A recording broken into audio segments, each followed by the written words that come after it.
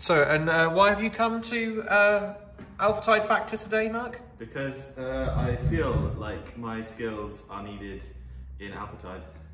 I see. And what have you come to audition for today? I have come to audition for the role of uh, lead drummer. Okay, please, uh, yeah, continue. And it's a no from me. Sorry, it needs tuning.